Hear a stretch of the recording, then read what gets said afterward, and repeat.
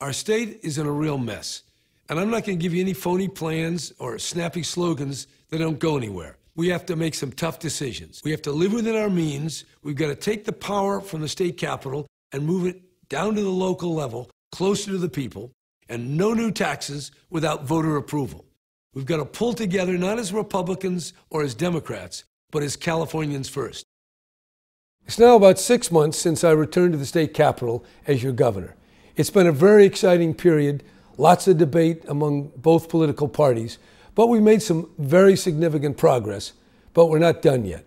I presented in January what I believe to be a very fair plan. I want to take a moment and review my plan. It has three elements. First of all, bring government closer to the people. That's called realignment. Number two, deep and permanent cuts to ongoing state programs.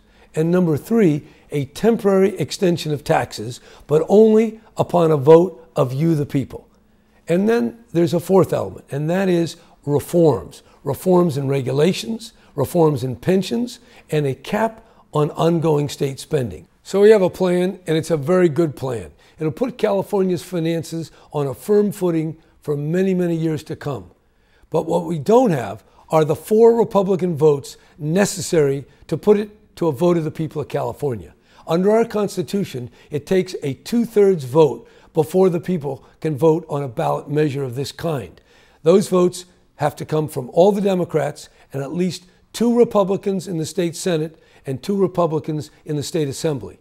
I'm really perplexed at why a package of this magnitude and this permanence, which has reforms, which has realignment, and which has temporary tax extensions, cannot be allowed for you, the people, to decide on. I'm not asking the legislature to make all these decisions.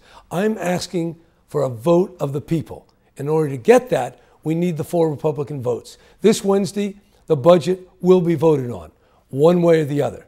And I assure you, I will keep fighting over my four year period as governor of California to put our finances in order, to make the necessary reforms, and to go back to you, the people, on the fundamental decisions that we have to make as Californians.